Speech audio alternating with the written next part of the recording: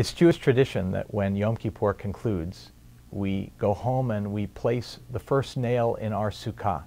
And in just a few short days, we'll gather in celebration of the Fall Harvest Festival.